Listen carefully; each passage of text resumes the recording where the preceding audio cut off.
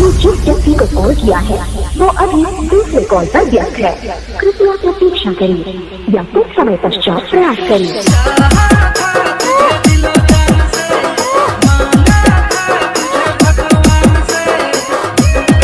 Kaushal Jharkhandi creation